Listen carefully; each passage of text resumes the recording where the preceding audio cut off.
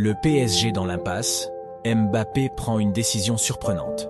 Kylian Mbappé semble déterminé à jouer la saison prochaine avec le PSG, même si cela signifie être mis au banc par le club français. La saison dernière, le joueur français avait snobé le Real Madrid pour signer un contrat lucratif de 650 000 euros par semaine avec le PSG.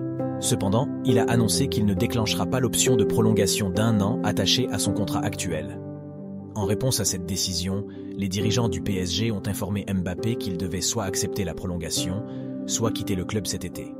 Malgré cette situation délicate, il semble que Mbappé ne soit pas disposé à accepter l'une ou l'autre des options. Il est évident que cette situation contractuelle a créé une impasse, sans issue apparente. Nasser Al-Khelaifi a réaffirmé qu'il serait impossible pour Mbappé de partir gratuitement. L'avenir de Mbappé reste incertain, mais il est clair que le PSG est prêt à jouer dur et à faire face aux conséquences de sa décision. Abonnez-vous.